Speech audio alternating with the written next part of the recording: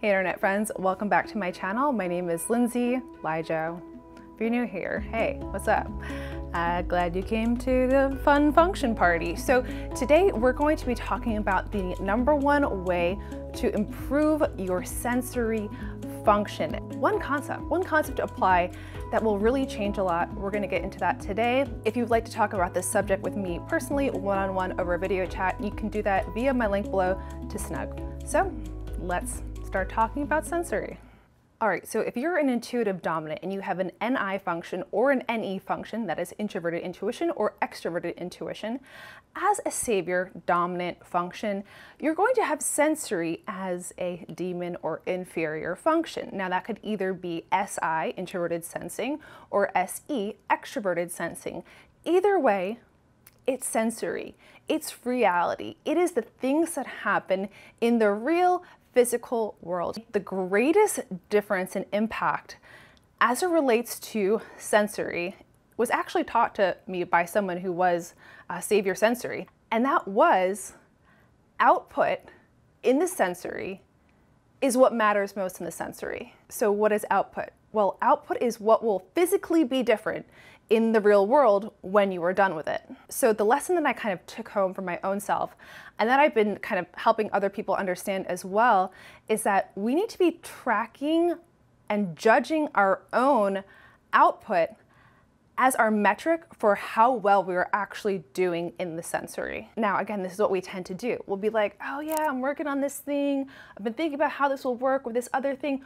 We'll be like in idea abstract land for so much of the time that it'll be like hours will go by. And then someone who's savior sensory might come along and be like, okay, so what's different? What's changed? Like, what's new? Literally, what's new? And you're like, oh, well, I'm, I'm like, you know, three quarters done with this puzzle that I've been like trying to figure out of how this other thing would work. That's what we're gonna do as a default. What we do have to pay attention to is what has literally changed. What have we done that has changed some kind of physical, actual reality that was different two hours later than it was two hours before? What, what has literally actually changed? And then how, how good is that in terms of where we're trying to go, the goals that we're trying to meet? So if you're trying to apply this to yourself, what you can do is take a list of your goals, right? And then break them off into day by day pieces. Again, we're going to focus on the, the here and now, the present reality.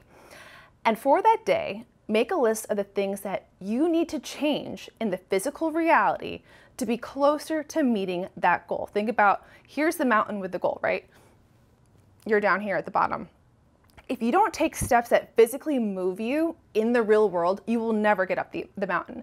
And that's why intuitives get so frustrated with like, oh, I'm not going anywhere. It's a, I don't know what I want to do with, you know, my life, or I don't know, like, oh gosh, everything is taking so long. It's taking so long because you're not actually moving. You're not actually walking up the mountain. You're like, you're chilling okay? You're eating snacks on the way up the mountain. You brought those Clif Bars for the entire mountain and you've eaten the whole box at the first 100 feet, okay? So that's what we're doing. And make them super specific. So if you were trying to work towards a term paper, you know, say, these are the pieces of material that I need to read. I need to read 100 pages from this. I need to read 100 pages from this. I need to have X amount of notes made for this and that in order for me to be prepared for writing this, you know, paper, let's say what are the pieces that physically need to be different from one day to the next? Now, obviously, in the beginning, you're not in practice with this, right? You haven't been doing it very long. Your neurotransmitters that um, work in these directions are underdeveloped. They are little weak baby arms, and your intuitive functions are your strong arms, okay? So you have to build up the strength and then start to really be critical of judging your output could I have actually done more today? Could I actually have sent another 10 emails? Could I actually have maybe worked a little bit harder to produce some more of that content to get that out there in the world? Start to track your real life progress. And the thing is, is that I think as intuitive types, when we actually do make the progress in reality and we, we do do the thing, we, like, we actually do the thing and actually like, you know, we see the change in it, we're like, wow, wow, look at the thing. I moved the thing, you know? And uh, that is very encouraging because it reminds us that yes, we can actually do reality. We can actually do the sensory. Uh, we have to do it. It's part of living in the real world. So those are my thoughts on this subject. I hope you guys learned a little bit about just one important thing to better your sensory functions, track your output, be critical of it, start taking steps up your mountain that actually are specific and move you forward. I'll see you next time in my next video. Goodbye. hey internet friends. Hey internet friends, welcome.